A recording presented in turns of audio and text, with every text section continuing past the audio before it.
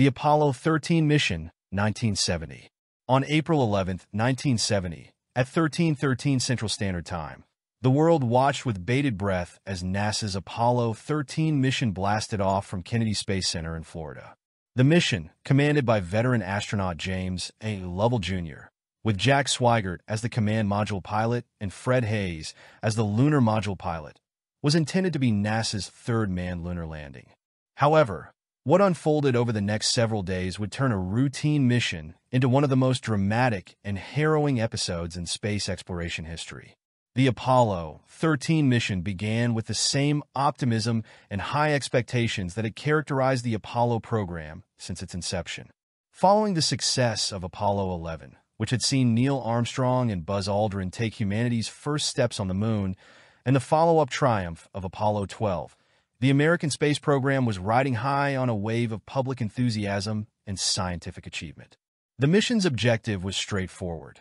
Land on the moon in the Fra Mauro Highlands, a region chosen for its scientific interest due to the presence of formations thought to be ejecta from the impact that formed the Imbrium Basin, one of the moon's most significant craters. Lovell, Swigert, and Haise had trained extensively for the mission, familiarizing themselves with every aspect of the spacecraft, the lunar surface, and the experiments they would conduct. As Apollo 13 hurtled towards the moon, everything appeared to be going smoothly. The spacecraft had completed its translunar injection, the burn that set it on course for the moon, and the crew was settling into their routine. But on the evening of April 13th, roughly 56 hours into the mission, disaster struck. At approximately 9.08 p.m. Central Standard Time on April 13th, 1970, as the spacecraft was about 200,000 miles from Earth, the crew was instructed to perform a routine stir of the cryogenic oxygen tanks. These tanks, located in the service module, stored liquid oxygen used to generate electricity, water, and breathable air for the astronauts. The procedure was meant to prevent the oxygen from stratifying, ensuring an even flow to the fuel cells. When Swigert flipped the switch to stir the tanks, a violent explosion rocked the spacecraft. Warning lights flashed, and the control panel lit up like a Christmas tree the astronauts were suddenly aware that something was seriously wrong. Lovell famously radioed back to Mission Control in Houston. Houston, we've had a problem. The explosion had been catastrophic. One of the oxygen tanks had ruptured, damaging the service module and causing the loss of the majority of the spacecraft's oxygen supply. This, in turn, led to the loss of electrical power from the fuel cells. The mission to land on the moon was immediately aborted. The new mission was now to bring the crew safely back to Earth. In the minutes and hours following the explosion, the situation inside the spacecraft grew increasingly dire. Without the oxygen and power from the damaged service module, the command module, Odyssey, would not be able to sustain the crew for the duration of the return journey. The lunar module, Aquarius, originally designed to support two astronauts for a brief stay on the moon, was repurposed as a lifeboat to house all three astronauts and provide life support.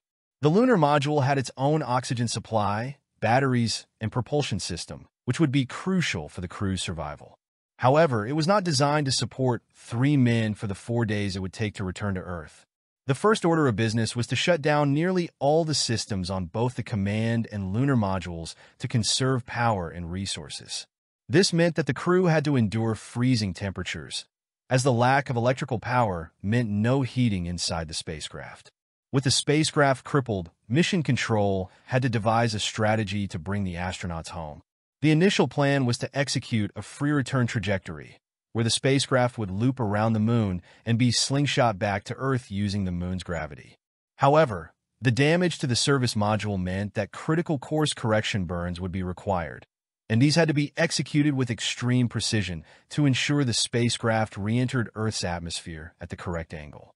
To make matters worse, the crew faced a buildup of carbon dioxide inside the spacecraft. The lunar module's carbon dioxide scrubbers were designed for two men, not three, and they quickly became saturated. The crew's only hope was to adapt the scrubbers from the command module for use in the lunar module. This required a makeshift solution involving duct tape, plastic bags, and manual dexterity, a jerry-rig contraption that would later be dubbed the mailbox by the crew. Amazingly, it worked, and the CO2 levels began to drop. As Apollo 13 swung around the far side of the moon, the astronauts were treated to a sight few have seen. A close-up view of the moon's surface, illuminated by the distant sun, with Earth a small, blued in the vast blackness of space. But there was little time to enjoy the view. The crew and mission control had to focus on executing the burns that would bring them home. One of the most critical moments came when the crew had to perform a 14-second burn using the lunar module's descent engine to adjust their trajectory. With their guidance systems shut down to save power, Lovell had to manually steer the spacecraft, using the Earth's terminator, the line dividing day and night on Earth, as a reference point. The burn was successful, but it was a white-knuckle moment for everyone involved. Despite the tremendous challenges, the crew managed to stay in relatively good spirits, even as their situation grew increasingly uncomfortable. They rationed water, sipped lukewarm coffee, and endured the bitter cold. They slept in short shifts, huddled together in the tiny lunar module, all while Mission Control in Houston worked tirelessly to find solutions to the myriad problems that arose. As they neared Earth, there was still one final hurdle to overcome, reentry. The command module, Odyssey, which had been shut down for days, had to be powered back up. The sequence for doing this had never been tested under such conditions, and there were concerns that the module's heat shield might have been damaged by the explosion. Without a functioning heat shield, the module would burn up upon reentry. But the crew had no choice but to trust in the expertise of the engineers and technicians back in Houston. With time running out, they powered up the command module, jettisoned the damaged service module, and separated from the lunar module, which had served them so well as a lifeboat. Lovell, Swigert, and Haise strapped into their seats, bracing themselves for the fiery plunge through Earth's atmosphere. On April 17, 1970, for days after the explosion, Apollo 13 re-entered Earth's atmosphere. The tension in mission control was palpable as the capsule streaked across the sky, generating a plasma that temporarily blocked all communication. For several agonizing minutes, there was silence. Then, as the capsule emerged from the blackout, mission control picked up the signal. Odyssey was intact, and the crew was alive. The command module splashed down safely in the Pacific Ocean, where the astronauts were quickly recovered by the USS Iwo Jima. Despite the ordeal they had endured, Lovell, Swigert, and Haise were in good health, a testament to their resilience and the skill of everyone involved in the mission. The world celebrated their safe return, and Apollo 13 was hailed as a successful failure. Though the mission had failed to achieve its primary objective of landing on the moon, it had demonstrated the incredible ingenuity, teamwork, and determination of NASA's astronauts, engineers, and mission controllers. The phrase, Houston, we've had a problem, became part of the cultural lexicon. A reminder of how close Apollo 13 came to disaster and how the human spirit prevailed against the odds. In the years since Apollo 13, the mission has been studied extensively, both for the technical lessons it offered and for the human drama that unfolded. The mission was later immortalized in the 1995 film Apollo 13, directed by Ron Howard and starring Tom Hanks as Jim Lovell, which brought the story to a new generation. For NASA, the mission was a wake-up call, highlighting the importance of meticulous planning, contingency procedures, and the need for constant vigilance in space exploration. The lessons learned from Apollo 13 were incorporated into subsequent missions, ensuring that the mistakes made were not repeated.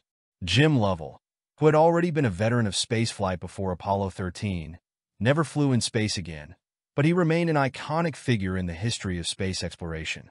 Fred Haise continued his career at NASA, serving as backup commander for the Apollo-Soyuz test project and later worked in the Space Shuttle program.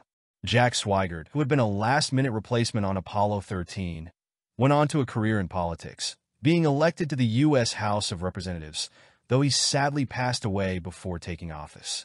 Apollo 13's legacy is one of hope, courage, and the relentless pursuit of knowledge.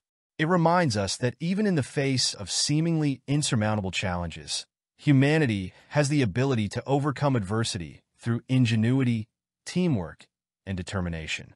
As we continue to explore the frontiers of space, The story of Apollo 13 serves as both a cautionary tale and a source of inspiration, proving that even in our darkest moments, we can find the strength to prevail.